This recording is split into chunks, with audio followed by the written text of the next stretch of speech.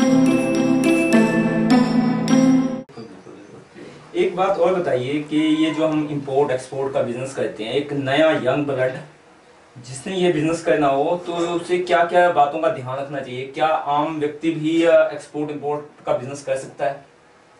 इसमें दिक्कत परेशानी कोई नहीं है एक्सपोर्ट वगैरह के काम में। हम्म, हम्म। तो पहली चीज़ है ये अपने को कैश की ज़्यादा प्रॉब्लम आएगी उसके लिए कैश नहीं जैसे मान लो कि मैं कोई मेरा प्रोडक्ट है मैं उसे अमेरिका में ऑस्ट्रेलिया में बे- बेचना चाहता हूँ वहाँ कस्टमर हैं तो जैसे आपकी कंपनी का भी कोई प्रोडक्ट एक्सपोर्ट होता था अलग अलग कंट्रीज़ में तो इसमें क्या क्या बातों का ध्यान रखना चाहिए? पहले तो इसका लाइसेंस बनवाना पड़ेगा। एक्सपोर्ट इंपोर्ट का लाइसेंस बनेगा। कहाँ से लाइसेंस बनता है? दिल्ली बनेगा। दिल्ली बनेगा लाइसेंस फिर उसके बाद ये मेंबरशिप लेनी पड़ेगी। पहले तो चैम्बर ऑफ़ कॉमर्स है। ठीक है। पीएचडी वहाँ पे इसके मेंबरशिप में, बनेगी। मेंबरशिप बनेगी हाँ। और उसके बगैर स्टार्टिंग पेपर की नहीं हो पाएगी। ठीक है। कहीं भी।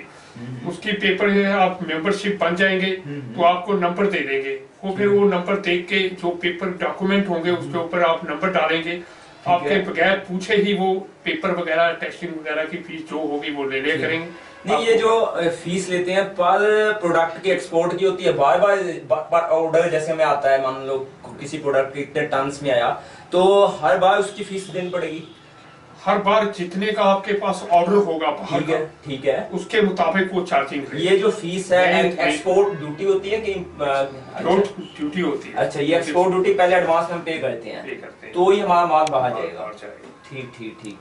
अब इसकी इंश्योरेंस वगैरह कराना बहुत ज़रूरी है। जितना भी आप माल एक्सपोर्ट करोगे इंश्योरेंस कहाँ से होगा? एक्सपोर्ट तो यहाँ से हो जाएगा राजपुरा से करवा लो। ठीक है कहीं से भी इंश्योरेंस हो जाएगा। इंश्योरेंस हो जाएगा। इंश्योरेंस होगा वो अपने पेपर बना के देंगे भी इतने का इनका माल है ठीक है। इतने की हमने इंश्योरेंस की है इतनी हमने चार्जिंग दी है और पार्टी पार्टी से एडवांस लेने पड़ते हैं हमें पैसे जो प्रोडक्ट हमने जिसका ऑर्डर दिया है। वो पार्टी तो आपको जब वो पेमेंट करेगी हाँ। पूरी उसके साथ आपको हमें हमें इंफॉर्मेशन देनी पड़ेगी हम। ये प्रोडक्ट आपको दे रहे हैं। दे रहे हैं। उसके। बाद आपको वहाँ चार्जिंग वो ठीक है। पेड कर देंगे। ये मतलब कि हमें उसका डॉक्यूमेंट जो शिप उसको भेजा माल उसका डॉक्यूमेंट उसको पहले भेजना पड़ेगा।